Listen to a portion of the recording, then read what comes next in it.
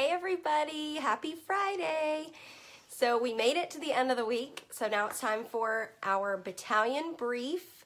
Um, this is just a quick little like 10 minute video just to share a couple fun things with you guys and just chat.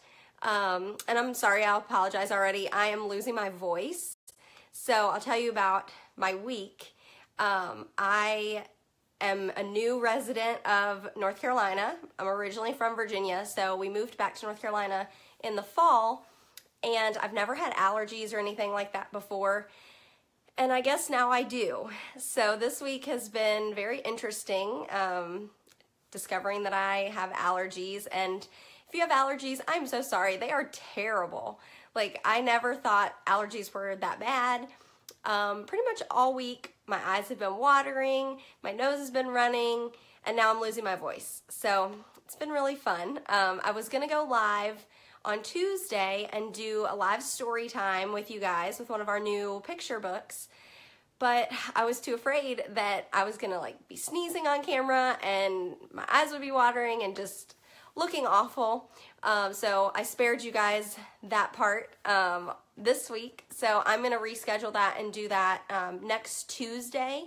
So I'm thinking it's going to be Tuesday around lunchtime, probably noon. And so I'll go live and do story time. Um, and those are not allowed to be recorded anymore. So that'll be live and then it'll be gone. Um, so you'll have to kind of tune in right then, but I'll send out some, um, I'll post a reminder beforehand so that everybody sees it. But I think for story times coming up, I'm going to try to do um, Tuesdays once or twice a month, and then I'll probably just switch up the times um, because I got pretty um, spread answers on that poll yesterday of the times that work best for everybody. So I'm going to just try it out and see um, what times seem to have the most people that are able to show up.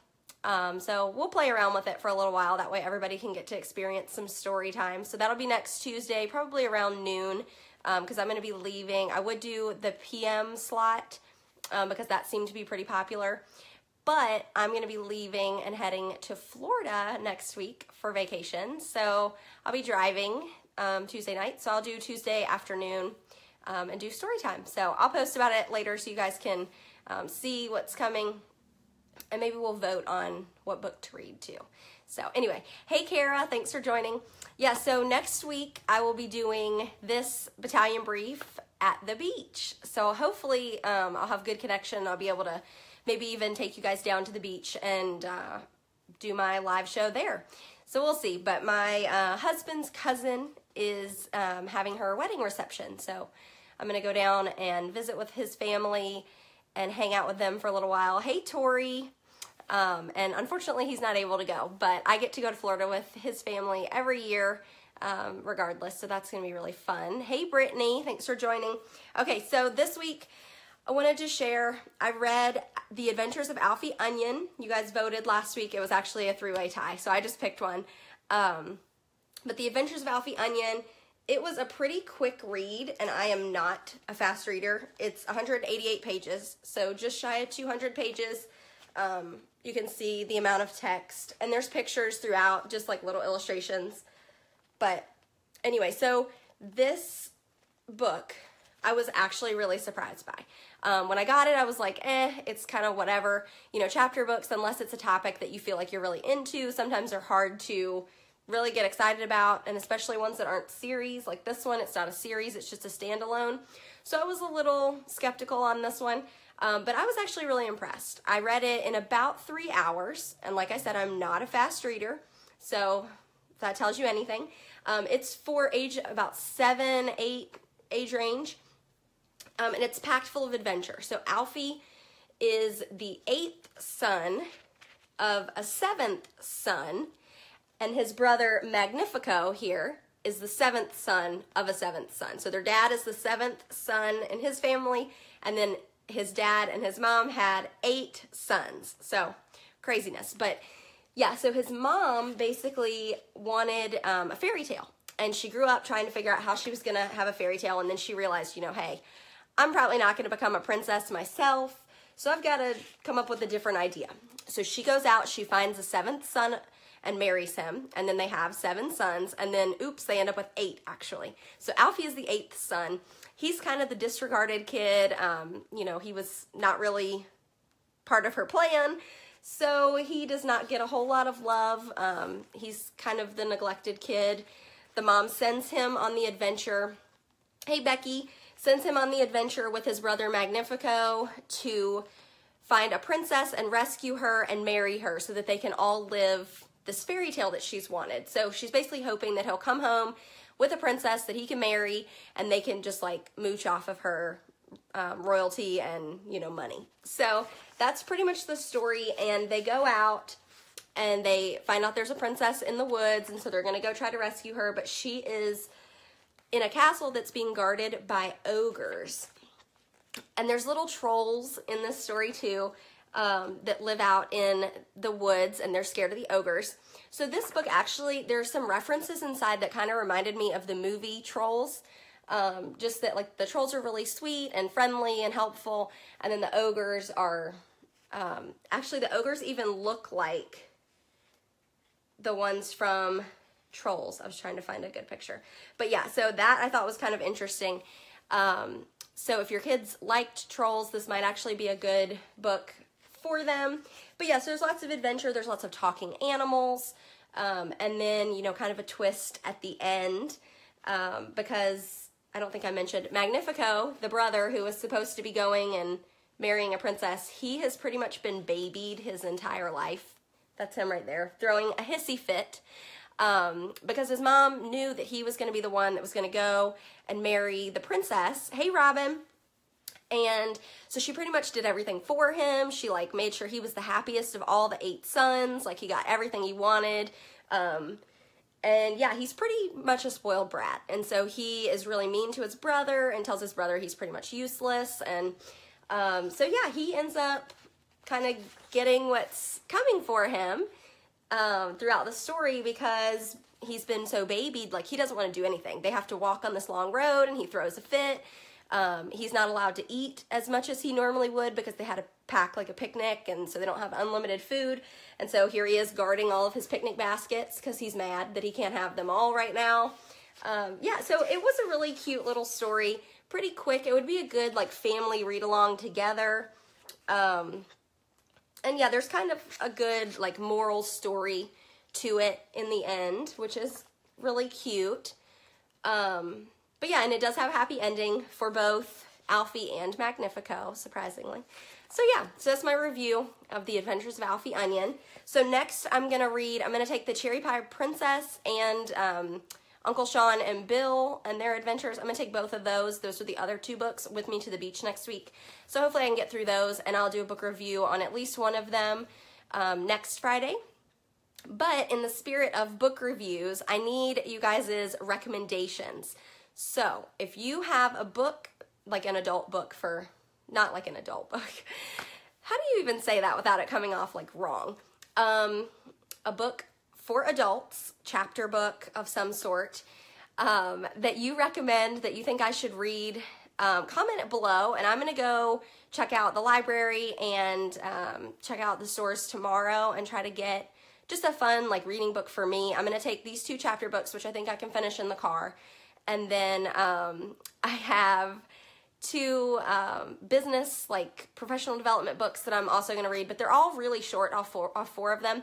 So I think I can fit in like a fun read. So if you guys have any recommendations, comment below. I love like sappy romance novels, um, but I also really like kind of the mystery, um, like the, uh, oh, what was that one? Into the Water I read last year.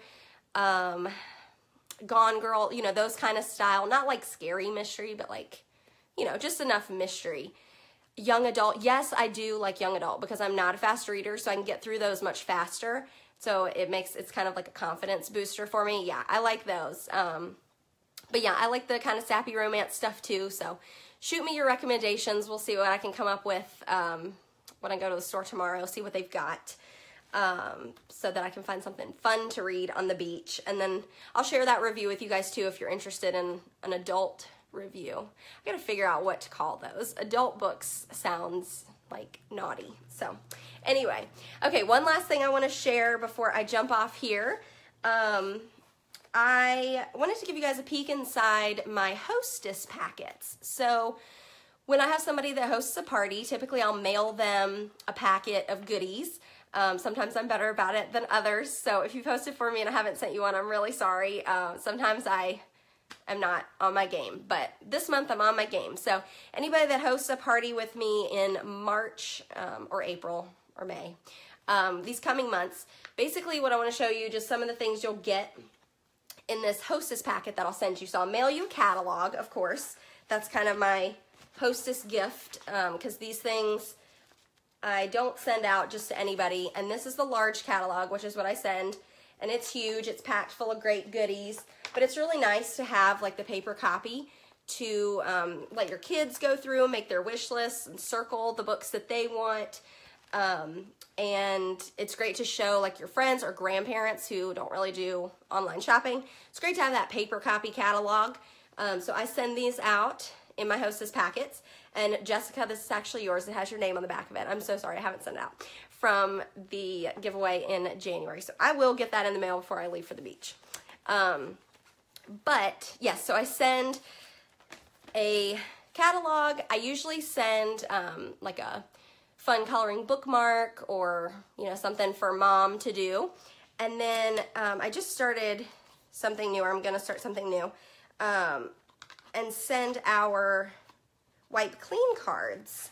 So they come in a pack. We have a few different like packs of wipe clean cards here. Travel Doodles is another one. Um, and what I'm gonna do is I'm gonna send, see they come wrapped here. I'm gonna send a couple of these on a like binder ring and I'll mix them up so you can get like a good variety.